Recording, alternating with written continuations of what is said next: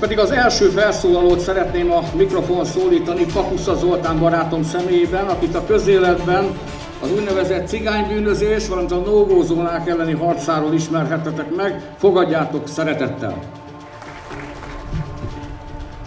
Ki kell mondani, hogy elég volt. Nagy tisztelettel köszöntök mindenkit a mai rendezvényünkön, és nagyon örülök annak, ilyen sokan vagyunk ma itt. Ez azt jelenti, egyre többen érezzük azt, hogy elég volt. Elég volt abból, hogy Magyarországon az elmúlt 30 évben kialakult egy olyan szubkulturális közeg, amelyben a késelés és a lincselés mindennapossá vált. 2009. február 8. Veszprém, az áldozat Márián Kozma. 2006. október 15. Olasz Liszka, az áldozat Szögi Lajos. Két brutális és értelmetlen gyilkosság. Két értékes embert gyilkolt meg a csőcselék. Egy ország várta, megdöbbenve és felháborodva azt, hogy a magyar igazságszolgáltatás majd igazságot fog tenni. Igazságot fog tenni az elhunytak családja felé, és az elkövetőket a lehető leghosszabb időre ki fogja vonni a társadalomból. És ezzel példát mutat azoknak is, akik a későbbiekben esetleg hajlamosak lennének hasonló bűncselekmények elkövetésére. Azonban nem ez történt. Másodfokon már enyhébb ítéletek születtek, és az egyik elkövető már szabadlábra is került, és most csak azért került vissza a börtönbe, mert újabb bűncselekményt hajtott végre. Ez pontosan azt mutatja, teljesen kár volt kiengedni. És így bizony ezek az emberek azt gondolják, hogy mindent megtehetnek. És a mellékelt ábra mutatja, tényleg meg is tehetnek mindent. Az elkövetőt 72 órára sem tartották bent. 72 órára sem. És a vád nem gyilkossági kísérlet egyenlőre. Azt gondolom, hogy ez a legfelháborítóbb. Hogy nyilván mit szeretett volna egy emberi élet a kioltására alkalmas eszközzel. Mégis mi lehetett a célja, ha nem a gyilkossági kísérlet? És azt gondolom, hogy ez a legfontosabb, hogy mi volt a célja. Én azt gondolom, hogy egyértelműen az, hogy kioltsa annak az embernek az életét. És pontosan jól látszik az is, hogy bizony a mai magyar igazságszolgáltatásban a liberális métej az, ami jelen van. Ami az abnormalitást normalitásként próbálja meg bemutatni. Amelyben, amely arról szól, hogy a bűnözők jogaiért aggódik, ahelyett a tisztességes emberek jogaiért aggódnak.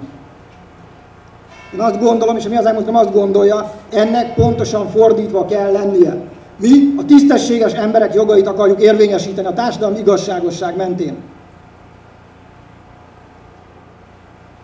És azt is el kell mondanunk, hogy ebben a 30 évben benne voltak bizony az elmúlt 30 év kormányai. A balliberális kormányok pontosan ugyanúgy, mint a magát nemzetinek nevező Fidesz kormány. És ilyenkor a fideszes képviselők szeretnek arra hivatkozni, hogy de hát az ügyészség, meg a bíróság függetlensége. Hát a legfőbb ügyész Polt Péter. Az OHB-nak a vezetője 2019-ig Handó Tünde volt. És uh, hagyd mondjuk el önöknek egy levélnek a történetét, ami pontosan jól jellemzi a jelenlegi kormányzatnak a helyzetbe hozzáállását. Varga Judit igazsági miniszter asszonynak írtam egy levelet, és azt kérdeztem ebben, hogy a jövőben, a közeljövőben, vagy akár a távolabb jövőben akar-e valamilyen reformot bevezetni a magyar igazságszolgáltatásban, annak érdekében, hogy ez a kettős mérce, ez megszűnjön. Két példát is leírtam neki, ami akkoriban történt. Az egyik az volt, hogy Borsodban egy intézkedő rendőrt, az intézkedés elvont személy, aki büntetett előéletű, megtámadta, és nem került börtönbe. Ezzel szemben egy idős nyíregyházi nyugdíjas, aki a saját házát védte, és áramot vezetett a kilincsbe, az odaérkező tolvaj foglalkozása körében elszenvedett balesetet, megrázta az áram, és az idős ember ellen gyilkossági kísérlet miatt indult eljárás. Kérdezem én, rendben van ez így? Bizony nem. És kíváncsi voltam arra, hogy az igazságügyi miniszter asszony, aki egyébként földim, hogy mit fog erre válaszolni. Azt gondolom, hogy mindenki sajnos tisztában van a válaszol, akkor is, ha nem mondom el. Semmilyen terve nincs, se rövid, se hosszú távon ennek a megváltoztatására.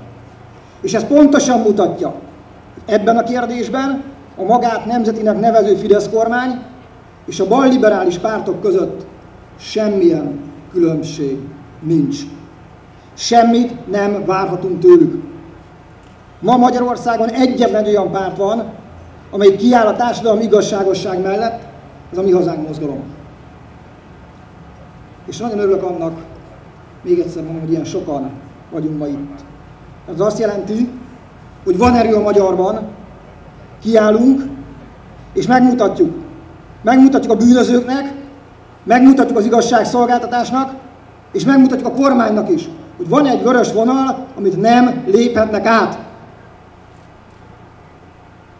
És bizony, azért vagyunk itt, hogy ezt a társadalmi igazságosságot megvédjük, megvédjük a településeinket, megvédjük a hazánkat.